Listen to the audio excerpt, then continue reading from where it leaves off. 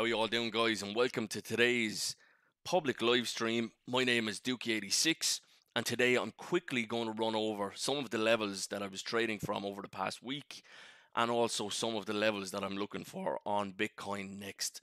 Um, with that said, let's jump straight into it. So, if we come over and have a quick look at Friday, I was sharing this chart on our public live stream. It's a quick clip of the levels that we were looking at on Bitcoin, and this was from a daily live session within the Pro Traders Lounge. So, kind of identifying early after after a big drop on Bitcoin, you do tend to it, Bitcoin loves triangles, and it, it you do tend to get this sideways price action, kind of putting in lower highs and higher lows. Um, so with that said, I was looking for price to come down into that the, the six six Fibonacci retracement level, which lined up with a merged TPO value area low and also a fixed range low as well. Um, that was our first level that we were looking for, but also I was leaving people know that we could come down as far as that 886. So if we go back over onto our chart and turn on those levels, you can see we came down into that 6-6 and got a bounce of 6% that day. And here's our, our merged range TPO, where we came down into the value area low and made our way up to the point of control with a, with a quick rejection from that. Since then, price has just been grinding down, grinding down, grinding down. We took out that low, so there was no swing failure for us. There was no strength at this, so we're looking for the lower targets of the 786 or the 886, and we came into that region nicely with a great reaction. A lot of people, a lot of traders out there were looking for lower. They were looking for that swing failure of this low, but we actually came in onto a daily level with the 886 786 region with a nice bounce to the upside of let's see nice bounce of roughly 8.5%. We came up, rejected off that trend line, back up, rejected off that trend line again, and now we're making our way back down. Okay, so the next question is what is next, or what am I looking for next? So I was sharing this one earlier today within the Pro Traders Discord. Um, it's let's zoom out a little. Okay, let's turn this off. Let's come out onto the daily chart. So if we take a look at this range that we put in from June up until where we are now, what we were looking at within inside the Discord was this TR pocket. And for those of you that don't know what a TR pocket is, I recommend coming into the Pro Traders Lounge and checking out that module. It's definitely a very interesting one. So that being said, we were looking for price to come down and we had a target of the deviation levels of the TR pocket, which we came down into nicely. We got a bounce to the bounce up to the upside of sorry, we got a bounce to the upside of 17% the initial reaction. Came back and back tested.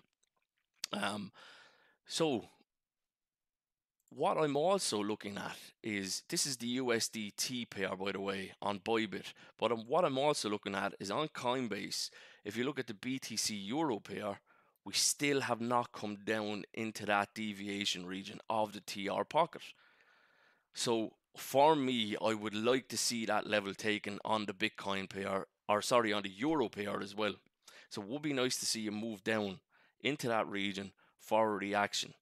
When I see that, I will also be back onto the USDT pair to see what's happening there also. So that's kind of giving me a slight bias of downside. Now, there is levels in between, but this is just the kind of a, a mid time, for, or I suppose the plan over the next week or, or, or so, or, or the rest of this week, is to keep an eye on the BTC pair, and I'm looking down for that 15k region, or better again, the 14,700. That's euros, and that's on the Coinbase pair. So this is kind of giving me, you know, it would be nice to come down and test these levels to see what Bitcoin is going to do at these levels. Now, if we come back to the USDT pair and we take off this and back on our levels from earlier. So I suppose on the USDT pair, what I would like to see is of a couple of levels. So I would like to see a swing failure of these lows now. Now I do know that there is nice support in here. If we merge this whole range on our TPO charts, if we merge this whole range, like we're coming into support now. Like and until broken, this is support. So if we hold here, well then we can start to if we get a nice reaction here, you know, we can start to look for a scalp long. But should we lose that level, I would be more confident in a swing failure of this low. Now, that doesn't have to happen, but that's what I'm waiting for. Should we come down here? Do we come down, take the liquidity, get that low on the euro pair, and then come back up within this range? If not, if we just break down, do we back test and make our way down? But the first level I'll be looking for is down here at, at the 15452 level for swing failure. And to the upside, I'll be looking for that naked point of control, which we have on our at. Let me just turn up this. Okay, so we have that naked point of control to the upside here, coming in at roughly 17,300. Um, so there, I suppose, the two levels locally that I'll be looking for. And again, I'm I'm keeping a close eye on that euro pair to see what it's going to do. If it does come up and take the high first and back test this TR pocket, if it comes up and back test here, well, that would be nice because it would kind of run with us taking that naked point of control to the upside on the USDT pair. Should we come down I look for the swing failure on the low there. So that's basically what I've been looking for um, on Bitcoin next. And I suppose let's see how that plays out. Uh, there's a lot of FUD and a lot of bad news in the markets also at the minute. So as traders, I suppose you've got to try and block that out somewhat and, and don't leave that influence your trading. But um, yeah, try and try and keep level headed with the charts over the next coming days, weeks, because I, I think we're going to get some interesting price action. Um, so what I also want to want to make you aware about is over at the Pro Traders Lounge, like we've got a jam packed weekly uh, schedule. So if you look from Sundays, we've got our swinger sessions, Mondays pre market pre-week market overview. We've got all kinds of sessions.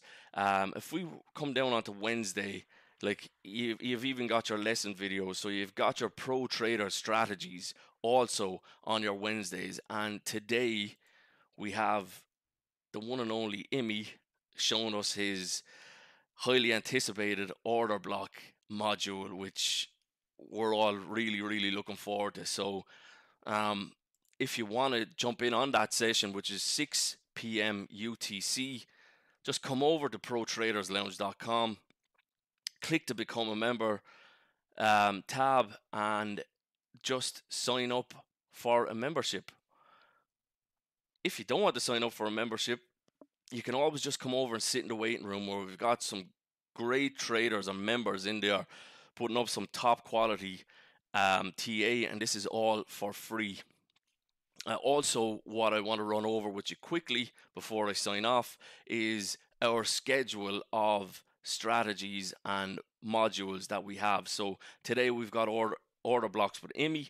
Next week with When Sailing and Netzo, we've got Atis intro and this one is probably one of the market's most highly anticipated um, lessons, and that's from the one and only Yunus on his Elliott waves on Motive Waves. So, again, guys, get over to protraderslounge.com if you want to be a part of that.